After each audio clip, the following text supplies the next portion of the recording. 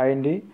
National water development ఏజెన్సీలో కొన్ని note ఉద్యోగాలు విడుదలయ్యాయి. చూద్దాం ఒకసారి. ఇవన్నీ డైరెక్ట్ రిక్రూట్మెంటే. జూనియర్ ఇంజనీర్స్ అట్లాగే జూనియర్ అకౌంటెంటు స్టెనోగ్రాఫరు అట్లాగే లోవర్ డివిజన్ క్లర్క్ సంబంధించి ఉన్నాయి.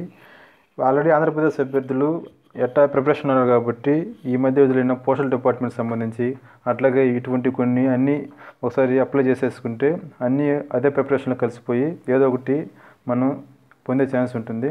సో నోటిఫికేషన్లోకి వెళ్తే ఇక్కడ జూనియర్ ఇంజనీర్ పోస్టులు మొత్తం ఇరవై ఐదు ఉన్నాయి.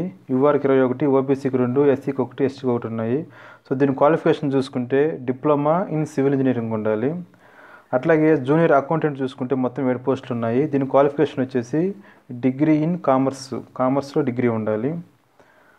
అట్లాగే స్టెనోగ్రాఫర్ గ్రేడ్ టూ చూసుకుంటే మొత్తం ఎనిమిది పోస్టులు ఉన్నాయి. సో దీని క్వాలిఫికేషన్ వచ్చేసి ట్వెల్త్ క్లాస్ అంటే ఇంటర్మీడియట్ ఉండాలి.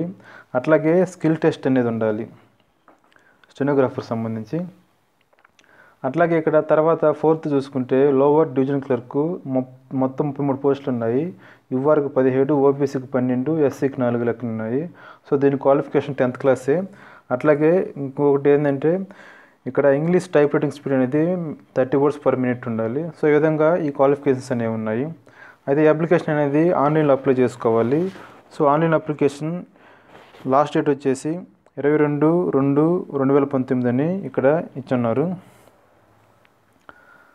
సో అట్లాగే చూసుకుంటే అప్లికేషన్ ఫీజు అనేది మొత్తం ఆరు వందల యాభై రూపాయలు ఉంటుంది. ఎవరికంటే యువరు అట్లాగే ఓబీసీ క్యాండిడేట్లకి.